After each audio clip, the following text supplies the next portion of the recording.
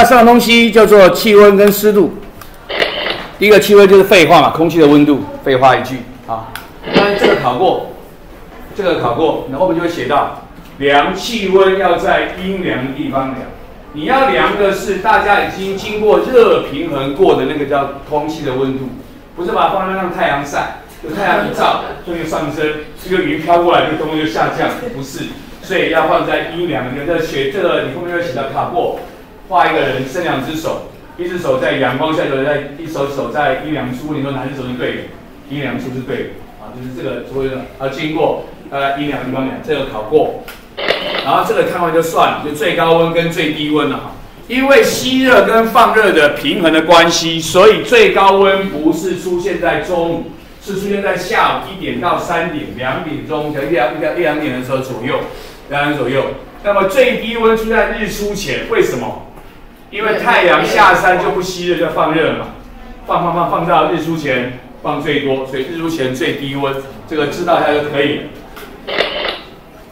那么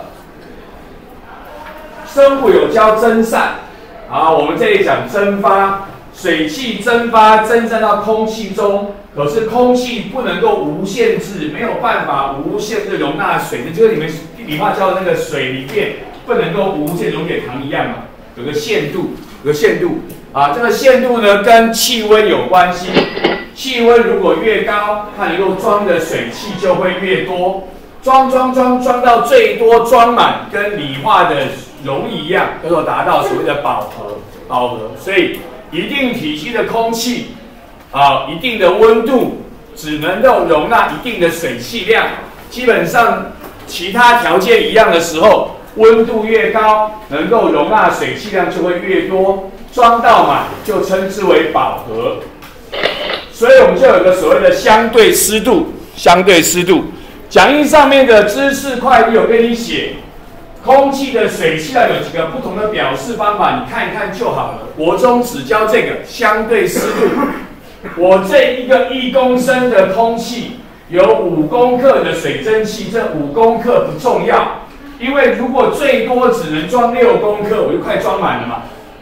我如果最多可以装十公克，才装一半而已。所以我要算个相对值，所以的算就这样算：分母是最大水汽量，分子是所含水汽量，然后呢，数学的要求要乘百分之一百，才会有百分符号，这叫做相对湿度。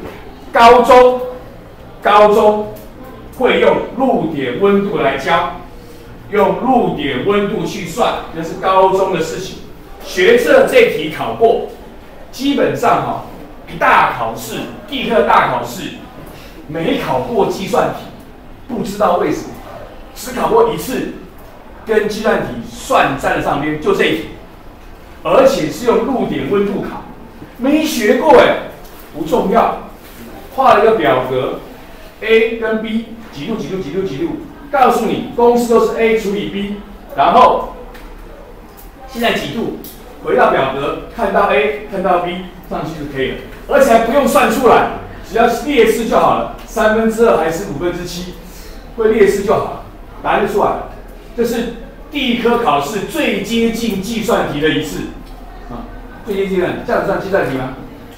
看到，拔起来，伸进去，答案就出来了，连算都不用算出来。数都不用算出来，就这样这样，这样，对吧？但是我们国中是这样教的，底下是最大水汽量，上面是所含的水，像这样。举例，我最多可以装二十二公克，我现在装十一公克，百分之多少？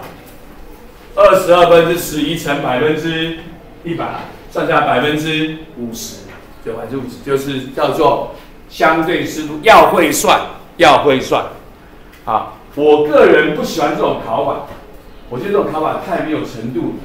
我比较喜欢考法是画一张图，或者写一个表，你从图里面、表里面看出来最多装多少，我有装多少，然后塞进去算。我觉得那样考起来比较算是有程度一点。OK，相对湿度要会做计算，最大水汽量所含水汽量乘百分之一百，百分之一百叫做相对湿度。然后，所以饱和的时候多少？百分之一百，很好。百分之一百，百分之一百。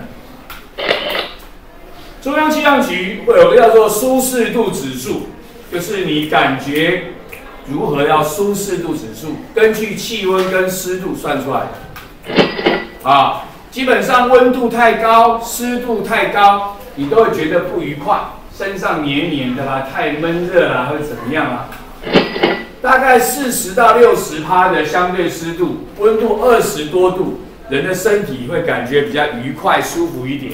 太高温的、湿度太大的，就会觉得不愉快、不舒服，叫做相对湿度。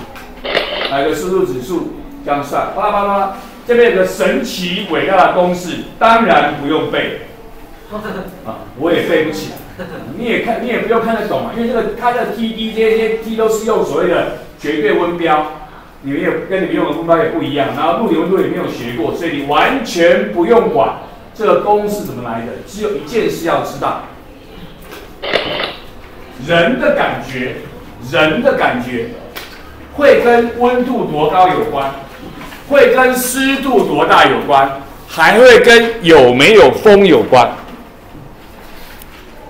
最近又发生了，之前是有一次啊，新闻上很多新闻写纽约气温零下四十度，我惊死了，被南极哦，啊。前两天因为美国最前两天在非常冷，对不对？对。又有人写说什么美国温度降到零下五十度，哇，加西了嘛。那些，你看就我一看，体感温度，什么叫体感温度？哦。你感觉的温度，因为呢，现在零下二十度很冷，对不对？有风一吹就直接怎样？更冷，叫做体感温度。体感温度零下。四十度，你觉得好像零下四十度，可是实际上只有还是零下二十度而已啊！那乱写乱写一通，好，要体感。所以，所以你觉得如何？还跟跟谁有关，还有跟风有关。可是我们的气象局在算什么？算到风？没有，气象局算到只算谁？只算了温度跟湿度，因为风很难算，很难处理，虽然没有算风，没有算风，所以。你不用背那个神奇，你不用背那个神奇伟大的公式啊！你不用这公式，你不用背它。但是你要知道说，你的感觉跟气温有关，跟湿度有关，跟有没有风有关。但是我们的气象局在算的时候只算了谁？只算了温度跟湿度，没有别的没有算，别的没有算啊，别的没有算。OK，你要知道这就可以了。然后我们有六个指数，也不用背啊，欣赏一下就好。偶尔会听到，有些气候会报，稍有含义啊，啊，舒适啊，闷热啊，易中暑啊。我目前没听过易中暑。哪一种？我们我我没听过易中暑。我我也很少，我也很少去听那个气象报告啊。你就是舒适舒看看就可以了，也不用背。这是我们台湾分法，我们香港那个跟我们分的又不一样。这是我们台湾的分法，跟别的地方分法是。不一样，香港人的分法跟我们分法是不一样啊，所以你就看一看，欣赏一下就好了，叫舒适度指数，OK？跳人有人有问题吧？没，很好。